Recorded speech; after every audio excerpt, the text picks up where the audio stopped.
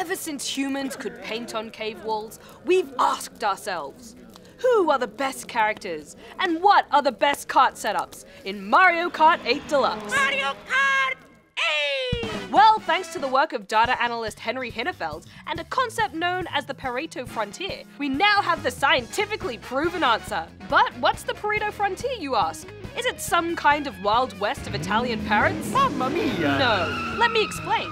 If you're familiar with the options in Mario Kart, then you'll know each character and part has a pool of stats, such as weight, top speed, and acceleration.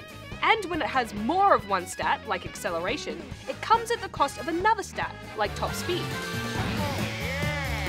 So by taking all the stats from every character and part and creating a chart of every possible combination, we find the Pareto Frontier. These points on the frontier represent all the best possible allocation of stats.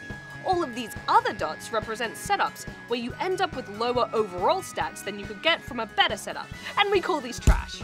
These results showed that the characters in Wario's class, which also include Bowser, Morton, and Mii Heavy, had the highest number of optimal setups. Carts within the Biddy Buggies class, which also include the Mr. Scooty Bike and Landship cart, also fared extremely well. While in the tyre department, the Rollers class, which includes the Azure Roller and the Button, was the clear top choice.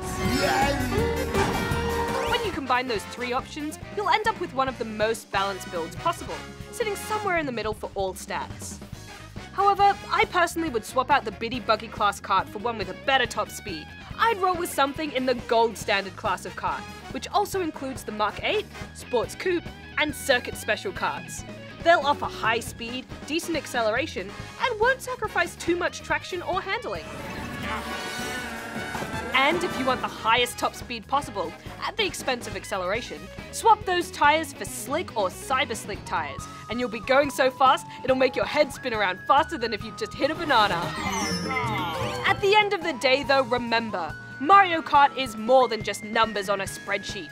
So if you love Yoshi, then you play as Yoshi. Crossing the line first takes more than just science. It takes a whole lot of skill, a pinch of luck, and if everyone could just stop it with the blue shells already!